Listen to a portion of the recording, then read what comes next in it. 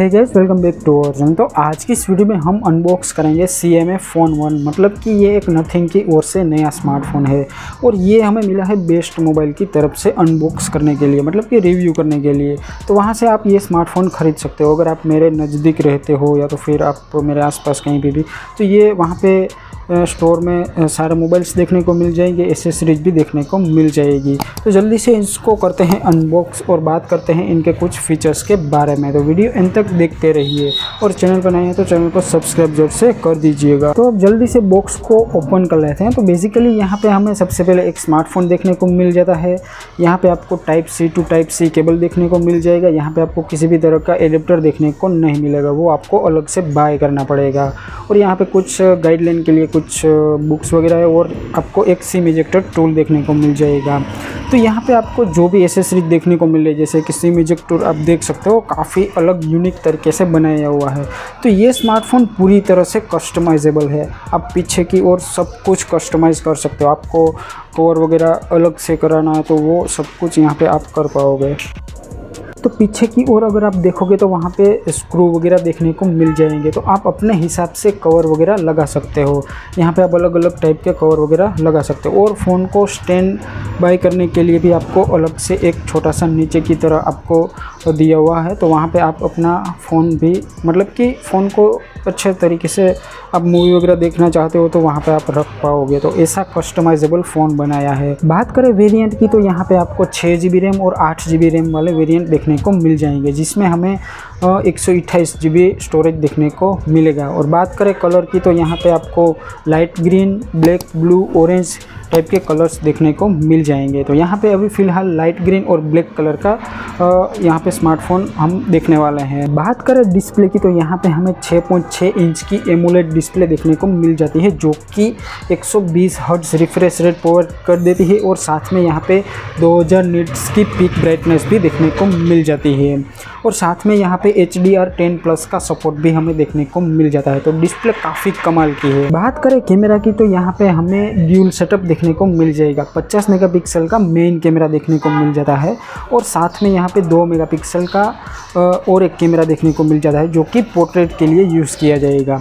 हालाँकि बात करें मेन कैमरा की तो यहाँ पे हमें आई एम एक्स के सोनी के सेंसर देखने को मिल जाएँगे। तो वहाँ पे काफ़ी मतलब कि बढ़िया काम किया है, लेकिन यहाँ पे हमें एस देखने को मिलेगा। हालाँकि यहाँ पे ओ आई एस का कोई भी सपोर्ट देखने को नहीं मिलेगा, जो कि एक काफ़ी वीक पॉइंट है स्मार्टफ़ोन का। क्योंकि आजकल बीस हज़ार के आसपास के जो भी अच्छे स्मार्टफ़ोन है, वहाँ पे भी हमें ओ आई एस का सपोर्ट देखने को मिलता है। तो यहाँ पे एक वीक पॉइंट यहाँ पे मुझे ये लगा। बात करें वीडियो रिकॉर्डिंग की तो यहाँ पे मेन कैमरा से आप 4K में 30 fps में कोई भी वीडियो रिकॉर्ड कर पाओगे। और अगर बात करें फुल एचडी मतलब कि 1080p में तो यहाँ पे आप 30 fps से लेकर 120 fps में कोई भी वीडियो रिकॉर्ड कर पाओगे। और यहाँ पे आप टेन एक्स डिजिटल जूम का भी ऑप्शन यहाँ पे दिया गया है। मतलब कि ये डिजिटली जूम होगा। हालाँकि सभी स्मार्टफ़ोन में डिजिटल ही जूम होता है। और बात करें सेल्फ़ी कैमरा की तो यहाँ पे हमें 16 मेगापिक्सल का सेल्फ़ी कैमरा देखने को मिल जाता है। तो वहाँ पे भी हमें रिकॉर्डिंग की बात करें तो यहाँ पे टेन में हम थर्टी एफ़ में कोई भी वीडियो रिकॉर्ड कर पाएँगे।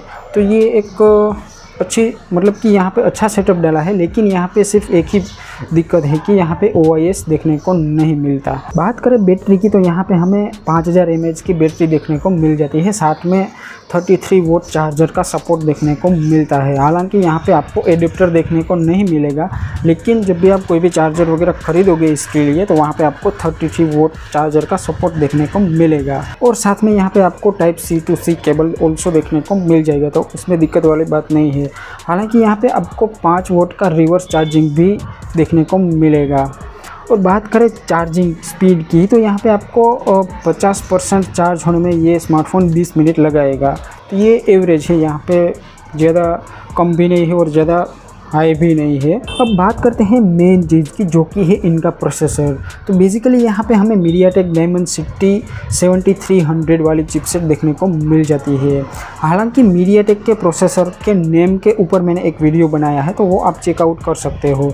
क्योंकि कौन से स्मार्टफ़ोन में कौन सा प्रोसेसर डाला जाएगा, उनके हिसाब से मैंने अलग अलग डिवाइड करके एक वीडियो बनाई है तो वो आप चेकआउट कर सकते हो। तो यहाँ पे हमें ओपन बॉक्स ये एंड्रॉयड 14 के ऊपर वर्क करेगा और साथ में ये nothing O S custom ROM के ऊपर वर्क करेगा। और बात करें अपडेट की तो यहाँ पे हमें दो मेजर अपडेट देखने को मिलेंगे। मतलब कि एंड्रॉयड 14 पे ये वर्क करेगा तो एंड्रॉयड 15 और 16 इसमें देखने को मिल जाएगा। और यहाँ पे तीन साल तक आपको एंड्रॉयड सिक्योरिटी अपडेट देखने को मिल जाएगा। आगे बात करें इनके कुछ फीचर्स के बारे में तो यहाँ पर हमें ए आई विविध मोड यहाँ पर हमें देखने को मिल जाता है, जो कि हाई कॉन्ट्रास्ट और ब्राइट फ़ोटो के लिए यहाँ पर इस्तेमाल किया जाएगा।